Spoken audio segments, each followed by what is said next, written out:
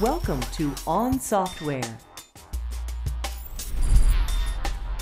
Conversations with thought leaders in software development.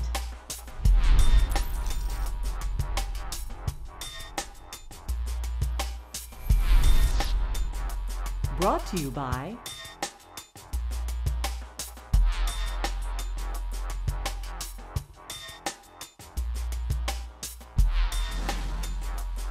lot of times, switching tacks just a little bit, you mentioned, you know, coming into your agile team.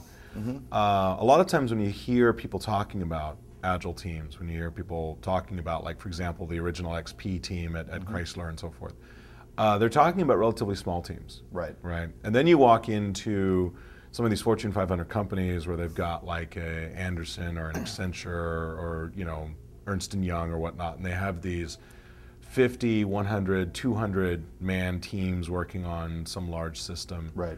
Um, is that just a precursor to failure? Does an agile team have to be less than a dozen people, less than a half dozen people? You know, how well does does this notion of agility in large project space, user stories in large project space, how well do these go together? Right. Well, there's a real danger in a lot of the Agile books, and it's very tempting to write this way to describe Agile for a lone team on a desert island, right? Our, our mm-hmm. little seven or eight person team on a desert island. And it's, it's a great way to explain some things, right? You know, here's how it works. But then you have to make sure that if you're, if you're writing a book or an article on Agile, that you explain, well, that's not all there is. Here's the other things that have to happen. Right. And one of Right. the things that Agile authors, the very beginning, did, the earliest Agile books, the 99 to 2001 or so books did, was really stress that, hey, here's the context I've used this on. And they were small projects. And now somebody these days comes along, reads that book, and says, oh, it's only useful on small projects. Right. And Right. no, it was just more the uh, the honesty of the authors writing the book, saying, "Hey, I've used this on five and ten and twenty person teams, no bigger, right? Go try it if you want. Let me know how it goes." That was the attitude at the time, and we've since learned that Agile scales up very well.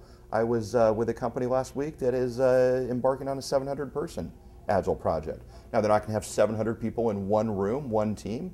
Uh, It might be 100 teams, it might be 80 teams, but it'll be a lot of teams that have to coordinate their work rather than one 700 person team. So how do you scale it up? I mean, just in a nutshell, how do you take a, a, a 700 person project and run it as 100 teams of seven without having five levels of management in between the guy in charge of the whole thing and the individual programmers? We're not going to, you know, you, I'm going to start out with the, with the, with the assumption there, uh, the guy in charge of the whole thing, right? There really is no the guy in charge of the whole, the whole Okay. thing.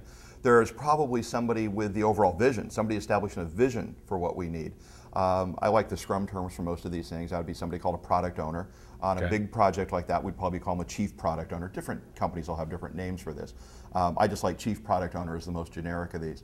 Um, that person has the overall vision. What are we trying to establish? They're going to have to pass that vision down to, uh, to teams, uh, sub teams in ways. And they'll do that. So there'll be typically a hierarchy that understands the vision there. Um, let's just use Microsoft Office as a wonderful example because it's such Okay. a product everybody understands. So we might have a visionary that understands where are we going with, with Office. And then underneath there, there might be what we'll call a line product owner. Line product owner might own PowerPoint, another line product owner would own Excel, another for Word, something like that. Um, those people then have a vision for what needs to go in those products. They'll have product owners underneath them. So these people are not running the project, they're just kind of the, the person with the vision.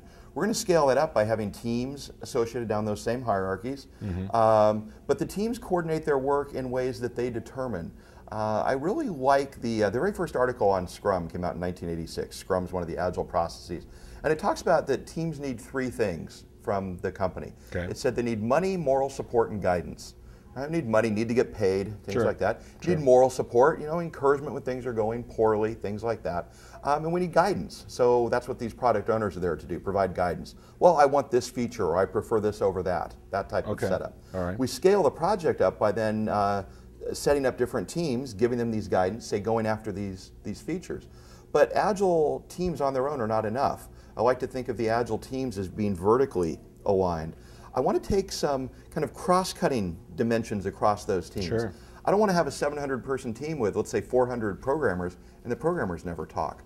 So I want to set up some orthogonal teaming structures across there and say, hey, 400 programmers, go talk sometime, right? Right. And that'll be some responsibility for the line manager. Maybe there's a, a technology director who runs that 400 person group. Make sure they're talking, doing things in standard ways. It's almost like organizing a small conference with 400 programmers. Yeah, yeah. I mean, that's got that's got to be a fairly intimidating idea of trying to get 400 people to talk to one another, you know, about whatever, about you mm-hmm. know, language or, or feature or whatnot. I mean, how do you encourage that kind of communication? Uh, well, it can be it can be established formally. It can be done informally, however is appropriate for the project, right? I mean, we're using the 700 example because that's where I happened to be last week, right? More realistically, we'd be probably be talking about an agile team that's scaling up in the one to three, 400 range. I mean, Okay. those are much more common. And you might be talking 50, 60, 70 programmers. Um, even them, they may split into two categories real easily, right? We've got client side, server side. So I don't necessarily have to have all 400 talking to each other, right? Okay. So right. it's, you know, it's the typical challenges that faced a, a typical development director or VP of development with a, a medium to large group. So you mentioned that you've done two books, and we've been talking about user stories, uh, estimating and planning. Yes. Right. Once I've got my stories in place, I mean, this has always to me been the hardest part of any programming job. You know, your boss comes to you and says, "We- "Here's here's what you need to do. How long will it take you?" Um, you know, just in a nutshell, right? Give me give me like the, the two sentence uh, story around agile estimating and planning. How do you do it? In two sentences, In two sentences, no more than that. So I don't have to buy the book. No, I'm teasing. I'm teasing.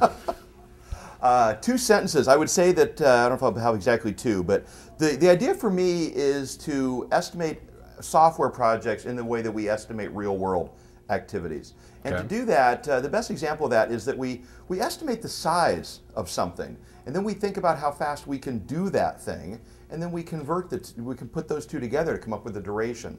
So let's suppose that we were to drive from uh, here in San Jose today, and we wanted to drive to uh, Austin, Texas. Well, we might think about that. If we had to estimate that drive, we'd kind of visualize a map, think about that. I have no idea how far that is. I'm just going to make up some easy math in my head. Let's say it's 1,200 miles, right? We would think Okay. about it being 1,200 miles. Then we'd think about our pace. Say, well, I bet I go 60 miles an hour on average, right? I got to stop every now and then. I'm also going to be going 70 during those empty Right. parts of Texas. or 80 or 90. Well, I'm not going to say that on tape. I'm going to go 60, maybe 70, and uh, I'm going to divide the 1,200 miles then by the 60 miles an hour. Come up with around 20 hours as my estimate. That's a real world best practice way to estimate. Estimate the size of something and derive the duration. So when uh, I want teams to estimate on, on software projects, I don't want them to go to the first principles question of how long will this take, right? How long will it take to add tables to a word processor, again, for example. Um, I want to think about how big it is, right? What is the size of this task compared to others? Right, and so, for example, let's estimate a word processor right now. Something I don't think either of us have worked on. Nope. So, if uh, you know, if we think about uh, putting bold text into a word processor, well, I don't know how long that'll take, but I bet it'll take the same amount of time as italicizing text does Okay. inside of a word processor. So I'd put that same type of number on there. So I want to put these relative estimates on there rather than absolute estimates that, that mean a time unit. So we go through a uh, the entire list of features to be added. Uh, call that a product backlog typically on an agile project. We'd estimate the size of things. So now I'd have all these relatively uh, valid but somewhat meaningless numbers. You know, this one's a five, this one's a 20. All that means is it takes four times longer. Right. And then we'd get started. We'd So these aren't necessarily in hours; they're just abstract Absolutely. bars. Absolutely. Okay. They're, so I've seen teams estimate them in what they, they'll call them gummy bears. I've seen teams call them uh, Cheez-Its. Uh, just, you know, they, they called it Cheez-Its based on like the number of boxes of Cheez-Its that they thought one of their main developers would eat in a particular day uh, or while doing that feature. So they'll be meaningless units, but they're, they're relatively valid. The 20 is about four times as big as a 5. A 1 is a fifth of a 5. And teams will add these up and say, well, we have a 1,000 points to do or a 1,000 Cheez-Its to do. Uh, no idea how long that's going to take yet. Right, But then we right. get started on the project. We run the project for a couple of weeks, see how far we've got done. And then we can take that pace that we're getting done and divide it into the, uh, the total size of the project. Starts to give us some predictability. That's, that's far more than two sentences, but that's Well, a but simple it- version of it. The, where it gets harder is where teams have to estimate before they've started. Right? There are times if we're doing a contract, for example, I can't let the team get started for two weeks, right? I have to estimate before I do that. That you're gonna have to buy the book for. I, mean, I can tell you, but that'll be that'll be that'll be harder to fit into. that's the tease. That's the point. Yeah, that's the tease. Okay. There, there are ways to do that. So this is not valid only when you have an existing team that's already run a little bit. Um, there are ways to do it uh, even without that, but they're they're harder to explain. For more information, visit onpodcastweekly.com and subscribe to all our podcasts. Brought to you by the publishing imprints and information portal of Pearson Education.